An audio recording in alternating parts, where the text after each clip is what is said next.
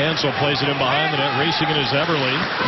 Eberle, nice move to play it off the end boards. Got it to the front. Chance. Stopped and a rebound. Blocked away. Hansel got it. Another shot over the top of the net. Coyotes under siege.